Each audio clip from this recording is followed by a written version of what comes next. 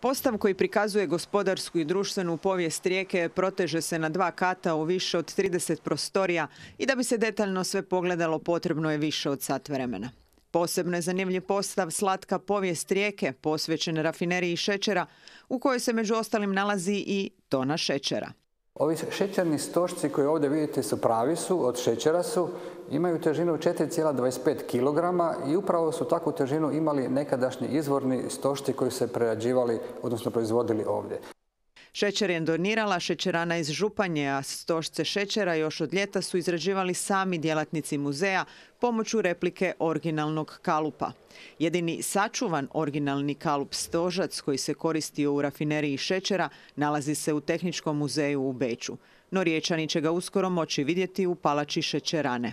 Upravo smo u razgovorima i Bečani imaju dobre volje da nam ga posude. E, pregovaramo koliko bi to bilo. Mi kažemo posudite nam ga na, pet godina, oni kažu može samo dvije. E, a to u prijevodu znači da nije pitanje hoće li, nego koliko.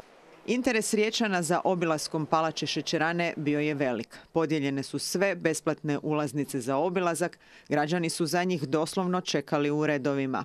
Naš stalni postav, a i Palačo kao najvažniji eksponat, posjetilo je 2350 riječana. Bilo bi sigurno i više da nisu na snazi epidemiološke mjere, ali mi smo bili korektni i savjesni, pa smo puštali grupe po grupe.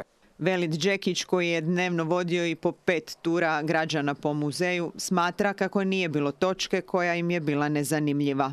Nekom je interesantna priča o šećeru, neko od, nekome o danunciju, nekome o torpedu, neko voli mirisati čokoladu, neko voli uživati u likovnim radovima koji prikazuju naš, naš dio Mediterana. E, svako ima različite interese, ali e, doista mogu reći da je na neki način svima sve zanimljivo. Meni je to nekako i očekivano. Zanimljivo, među eksponatima nalazi se i jedna biljka. To je šećerna trska. Zašto šećerna trska? Mi u muzeju vjerujemo da je doista malo koji riječanin imao priliku uživo vidjeti šećernu trsku, pa smo se potrudili nabaviti je i za naš stalni postav. Vjerujte mi, nije plastična, prava je. Ja smatram da ona na neki način možda glavna zvijezda cijelog postava, ako mislite da pretjerujem, sjetite se da bez ove biljke ne bi bilo cijele ove krasne palače. Muzej od danas radi redovnim radnim vremenom od utorka do subote od 11 do 19 sati.